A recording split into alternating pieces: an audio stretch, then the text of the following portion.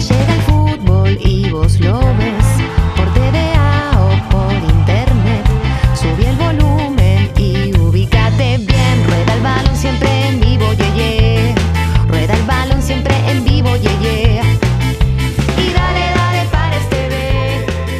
Hola, ¿qué tal? Muy buenas tardes, bienvenidos al fútbol. Bienvenidos a la emoción, el placer de saludarlos desde el Estadio Carlos V, el inicio de una nueva temporada de fútbol a través de la pantalla de Pares TV, con Flandria debutando en esta fecha 2 tras quedar libre y recibiendo a Alvarado de Mar del Plata, que en su debut igualó sin goles con San Martín de San Juan. Un Flandria completamente renovado, el hincha canario, el televidente del otro lado se deberá ir familiarizando con apellidos, roles, posiciones y caras, porque del 11 que hoy pone en cancha Felipe de la Riva, solo uno viene del proceso anterior y es el juvenil Julián Marcho que va a tener su lugar desde el arranque. El resto todas incorporaciones. En total fueron 16 futbolistas los que llegaron para rearmar este plantel ante un conjunto marplatense que tiene varios futbolistas con pasado en primera división. Desde las 5 de la tarde con arbitraje de Juan Pafundi, lo comenta, lo analiza Gonzalo Orue. ¿Cómo le va? Bienvenido. Muy buenas tardes, Ale. Un gusto saludarte en una nueva transmisión. Hoy será una jornada calurosa, difícil de afrontar con el clima, el campo de juego lo denota y a la vez el hincha está de festejo. Será un día para recordar un nuevo aniversario del club que esperemos para el hincha de Canario pueda contarlo con alegría. Con predominio del blanco, algunos vivos azules, está el conjunto de Villevani, de César Villevani. Está la visita, aparece Flandria, encabezado por Martín Perafán, todo de negro. Está el Canario, está el equipo del pueblo pisando el rectángulo. Ya está Flandria que presenta nueva indumentaria, con nuevo main sponsor en el pecho, con un diseño diferente en los números. Mueve Gularte. Ya están jugando el Canario y el elenco marplatense. Quería salir Broggi, ganó la pelota Gularte, la abrió bien para Olivera, se viene en ataque el 3, Olivera le va a picar Fernández, lo ubicó José Luis, se viene Fernández, buena pelota al centro por izquierda, pasó al otro lado, está el remate sobre la línea, despejó el zurdo Marchio sobre la línea cuando remataba Bettini, otra vez a Rechea, ganó a Rechea, Marco Fernández domina, va el zurdo, le da al arco, se la quedó Lungarzo, se animó el 10, la salida es con Comachi, Comachi, se viene el número 11, va Comachi, aplica el freno, descarga la pelota para Broggi. Cristian Broggi proyectado en la derecha, saca el centro por abajo. Buena pelota Comachi, le pegó muy mal Comachi. La tiene Rivadero, Marcos Rivadero, aplica el freno, pone pausa, busca un socio, no lo encuentra, pisa Rivadero, deja cortito con Marco Fernández. Marco Fernández, la tira larga bien para Catriel Sánchez, habilitado, domina de pecho, puede ser Catriel en el área, enganchó, ¡Penal! ¡No! ¡No! No lo engancharon a Catriel Sánchez, simuló el 9. Se va a ganar la tarjeta Catriel Sánchez, es toda suya Gonzalo Orué. Pero enganchaba hacia adentro bárbaro Catriel después de un perfecto pase del 10 Fernández. El árbitro corrió decidido a marcar que había simulado el delantero.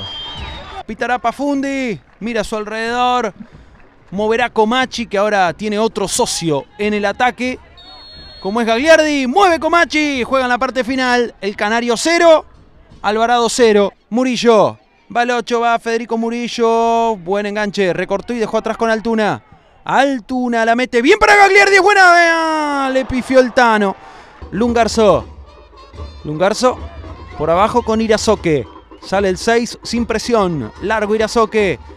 De cabeza la bajaba José Luis Fernández. Se juntó con Badalá. Badalá engancha. Escapa de papa. Badalá le da al arco. Perafaño un rebote al costado. Se viene atención Betini. La metió desde la derecha. Le salió muy largo el centro.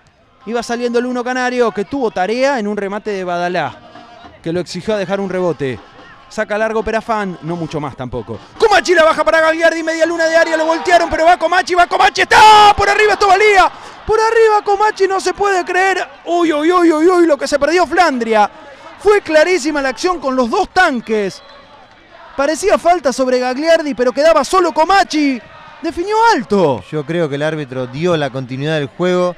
Le queda Rivadero. Del otro lado Canever. Rivadero la juega para Marchio. El zurdo y la pelota. Marchio para el Tano Gagliardi en la punta izquierda. Al costado del área Gagliardi. La deja atrás para Canever. Gagliardi la vuelve a pedir. Ahí viene cortita de Canever para Gagliardi. Y este para Canever, muy buena. Canever hasta el fondo, centro atrás. ¡Está! Caía Murillo, pedía penal. Pedía penal. No me pareció de nuevo, pero ¿cómo cayó Murillo? Felipe se vuelve loco, dice ahora sí es penal. Después de la polémica en el primer tiempo. Si se tiró Murillo no entiendo por qué. Porque armaron un jugadón Canever y Gagliardi. Doble pared. ¿Y qué pasó? 21 del segundo tiempo y otra polémica. Otro penal pedido por Flandria. Cayó Murillo. Estaba solo libre Murillo para el gol. Es raro que haya simulado. Primera vez que Canever puede pasar al ataque. Le pega a Murillo este córner. ¡Arrechea! Apenas cabecea, Arrechea se va cruzada y desviada. Un solo hombre un poquito adelantado deja Alvarado que es Ramírez. Después se defienden todos, ¿eh?